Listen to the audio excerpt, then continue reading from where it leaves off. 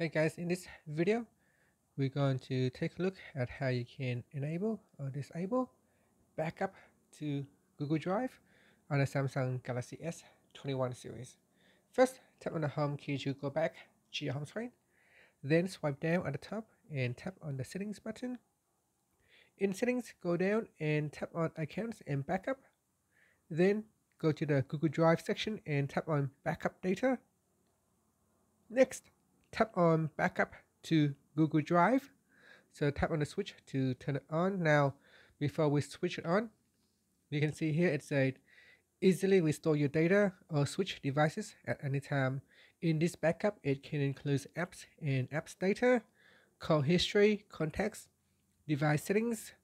Uh, this include Wi-Fi password and permissions, photos and videos, and SMS. So if I uh, tap on the switch, then that will turn on the backup. It said that photos and videos sync to your Google Photos library and may be used across services. Your backups are uploaded to Google and encrypted using Google account password.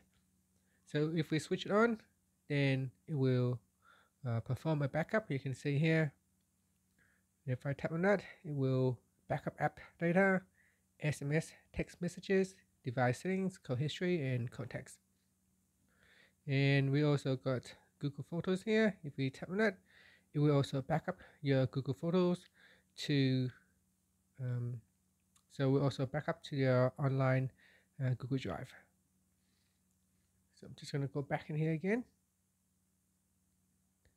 And Google Photos. And the last option here, you got the, the option to uh, backup with via Wi-Fi only uh, using mobile data. So I'm going to choose use Wi-Fi only because the large app can be quite large and you don't want to uh, backup using your mobile data. And that's it. Now, if you want, you can also tap on the backup now to proceed with the backup immediately.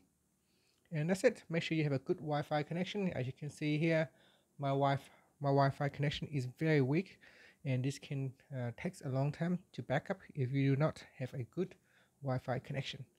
And that's it. Finally, you can tap on the home key to go back to your home screen. Thank you for watching this video. Please uh, subscribe to my channel for more videos.